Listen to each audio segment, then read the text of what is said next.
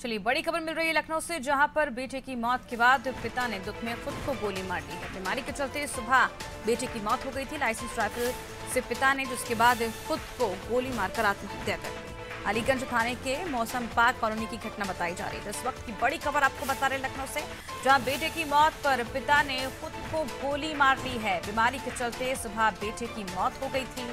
और बेटे की मौत का सदमा नहीं सह पाया जिसके चलते खुद को गोली मारकर आत्महत्या कर दी